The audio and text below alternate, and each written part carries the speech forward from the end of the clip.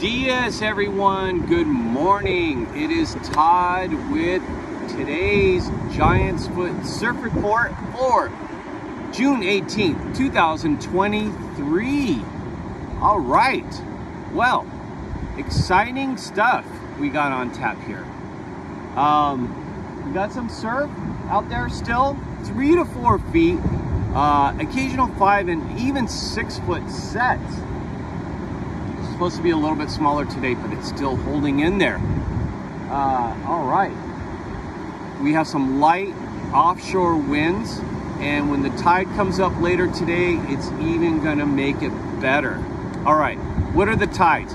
Well, guess what? I forgot the tides. Hold on.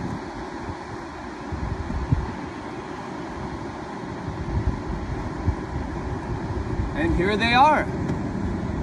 Today's tides, we have a low at 8.43 a.m., which is coming up, and we have a high at 2.55 p.m., which is probably when you want to get out here in southern Nicaragua, and then a low at 9.22 p.m. All right, what would you do to get all your surfing needs, all of your surfing needs for Nicaragua?